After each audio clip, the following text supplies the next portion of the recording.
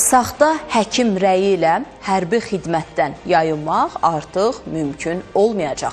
Müayinədən keçən gənclərin hər birinin tibbi məlumatları dərhal elektron sistemə ötürülür və nəticə olaraq bütün negativ halların qarşısı alınır. Kimsə real olmayan rəy gətirsə belə, mərkəzdəki həkimlər tərəfindən yenidən yoxlanılacaq və düzgün, şəffaf qərar veriləcək.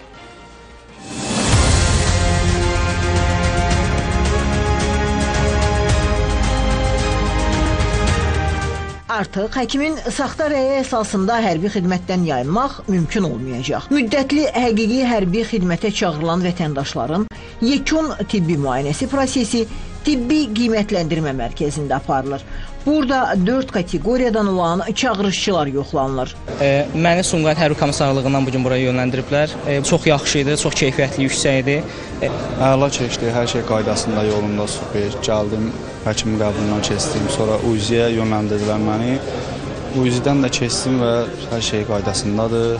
Tibbi Sosial Ekspertiza və Reabilitasiya Agentliyinin nəzdində olan mərkəz müasir tibbi avadanlıqlarla təhciz olunub. İyul ayının 1-dən etibarən 2024-cü ildən çağırılanların həqiqi hərbi xidmətə çağırılan vətəndaşların yekun tibbi müayinəsi agentliyimiz tərəfindən həyata keçirilməkdədir. Həm diaqnostik, həm laboratuvar, həm instrumental müayinələr həyata keçirilir. Eləcə də bu işləri görülməsi üçün peşəkar, ixtisaslaşmış tibbi mütəxəssislər cəlb olunmuşdur.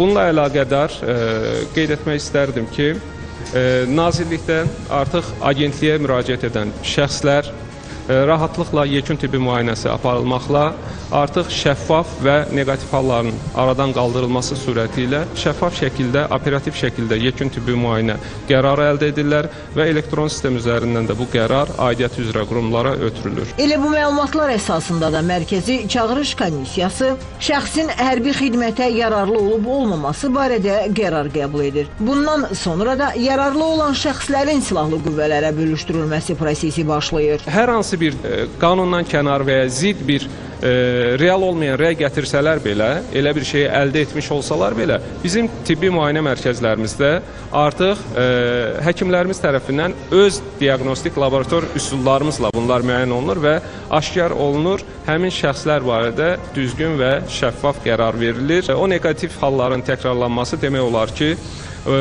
bu prosesə cəlb olunmuş qurumların da birgə fəaliyyəti, birgə səyi və ə, zəhməti nəticəsində ə, minimuma ə, daha sonra da mən ümid eləyirəm sıfıra artıq çatdırılacaq. O da qeyd olunub ki, bütün bu işlərin görülməsi üçün mərkəzə ixtisaslaşmış şəxslər cəlb olunub. Nigar Polad, Sevinç Vaqif qızı, Bəxtiyar Babayev, Xəzər xəbər.